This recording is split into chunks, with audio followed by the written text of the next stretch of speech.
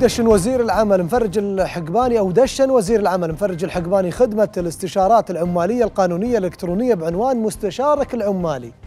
وتطلق العمل هذه الخدمة بعدة لغات لتعريف العاملين في القطاع الخاص وأصحاب العمل بحقوقهم وواجباتهم فيما تهدف إلى تقديم مجموعة من الخدمات الاستشارية القانونية اللي تواجه العملاء الخاصة بنظام العمل وقوانينه وذلك بتفعيل آلية التواصل الخارجي مع العاملين وأصحاب العمل.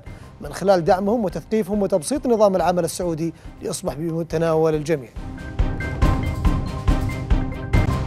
والحديث عن هذا الموضوع. معي عبر الهاتف من الرياض وكيل وزارة العمل لخدمة العملاء والعلاقات العمالية الأستاذ زياد الصايغ.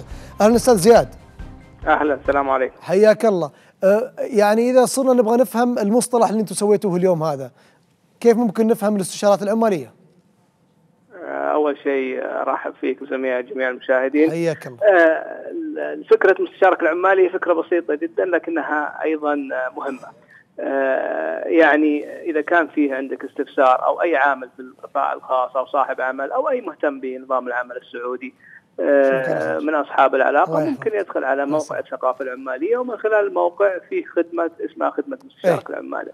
الخدمة باختصار تدخل عليها وتدخل البيانات الأساسية تدخل استفسارك أو طلب الاستشارة. م. خلال ثلاثة أيام تصلك استشارة قانونية كاملة استرشادية. السؤال هنا أستاذ زياد أنه الاستشارة هذه مجانية؟ نعم صحيح. آه يعني بيشتكي الجهة اللي يعمل فيها وكذا يجي يشاوركم بعدين يروح يشتكي. ما هي بالمسألة مسألة أنا أسألك بس هو كتصور يعني فقط. إيه لا لا بس خليني أوضح لك الصورة أكثر.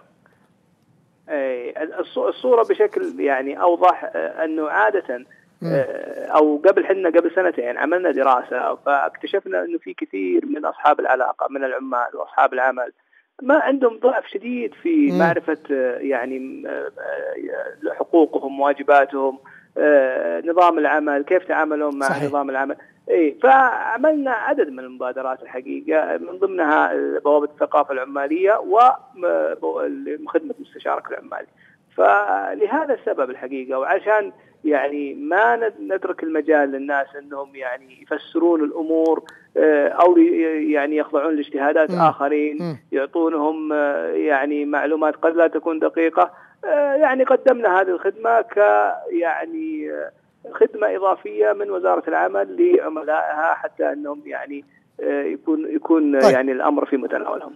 طيب من الرياض وكيل وزارة العمل لخدمة العملاء والعلاقات العمالية الأستاذ زياد الصايغ. الصايغ شكرا جزيلا لك.